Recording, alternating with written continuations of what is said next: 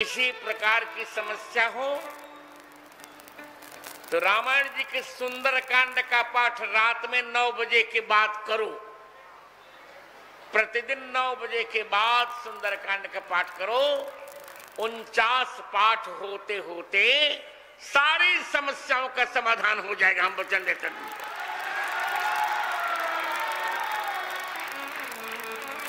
किसी से पूछने की कोई आवश्यकता नहीं। शुद्ध मन से उनचास पाठ कर लोगे तो सारी समस्याओं का समाधान हो जाएगा।